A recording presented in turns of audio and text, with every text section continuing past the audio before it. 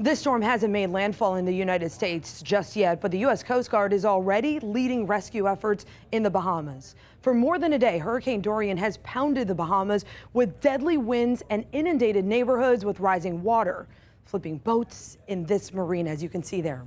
10 News reporter Liz Crawford found out what Clearwater's Coast Guard members have been doing to reach those in the hardest hit areas. And they're flying uh, in conditions that are probably some of the worst you could see.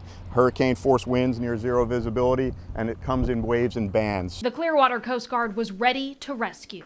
They've been in position along Florida's east coast and in the Bahamas with helicopters prepared to bring supplies or transport people to safer areas. When we arrived there, we helped to triage some of the critically injured patients and move them to Nassau for higher level of medical care. One of the biggest challenges for rescue crews is how slow Dorian is moving.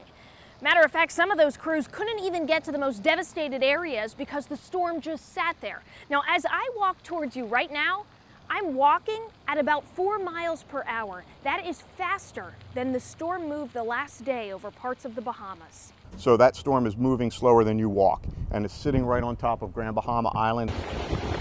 On Tuesday, crews in Clearwater packed planes with supplies and emergency staff to be sent to the Bahamas. But before any help actually reaches the people in need, crews have to transfer to helicopters. So it's very difficult to get any assets in there other than helicopters. Most of the runways in the affected area are uh, have been inundated and awash with storm surge. So heavier aircraft, we're gonna it's going to take some time to get those in there. Our prayers are with the people of the Bahamas and the people of the East Coast as they prepare for this storm and they try and recover. The Florida National Guard activated more than 4,000 soldiers and airmen as Hurricane Dorian continues to churn in the Atlantic.